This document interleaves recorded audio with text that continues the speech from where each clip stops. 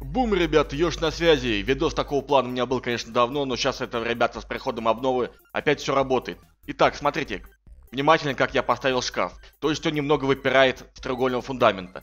Вешаем сюда замок. И сейчас мы, ребята, сюда поставим квадратный фундамент. И в скором времени закатаю его, конечно, в железо все, но сначала поставлю так вот, смотрите, ставится, хоть шкаф выпирает, но я все равно могу поставить крышу.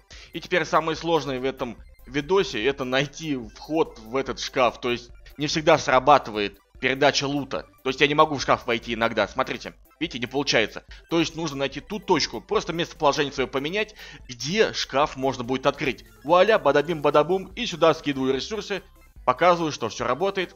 Смотрите, теперь с этой стороны подойду, где шкаф. И бумс, открываю все ресурсы на месте.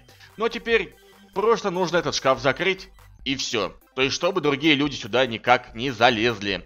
Ставлю две стенки по бокам, и теперь смотрите, как у меня получится здесь интересненько. Ставлю с одной стороны стенку, и с другой. Обратите внимание на правый край. Бумс, и стена тут сама появилась, как по волшебству. Бжух! И еще раз смотрите, бумс. Прикольно. Вот так вот, ребят, этот способ работает с приходом основного обновления. Классная штука, можно так шкаф спрятать, что до него никто не доберется. Тем более, если закатать это все в высокий металл, хотя на классике в железо достаточно. И все, все ресурсы ваши в сохранности. На этом все, ребят, с вами был Мистер Ёж. Хи-хи, увидимся в следующем видосе. Может, какой-нибудь видос прикольненький еще запилю. Надеюсь на это, конечно же. Ну и все, воспользуйтесь. Не благодарите. Хи-хи, пока, бум.